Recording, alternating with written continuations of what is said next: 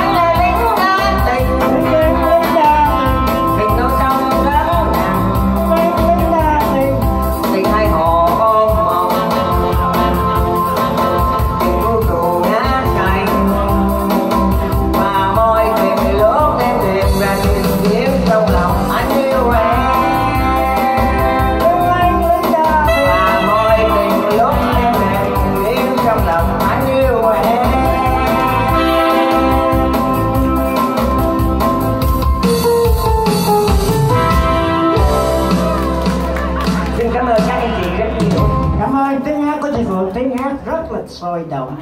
Và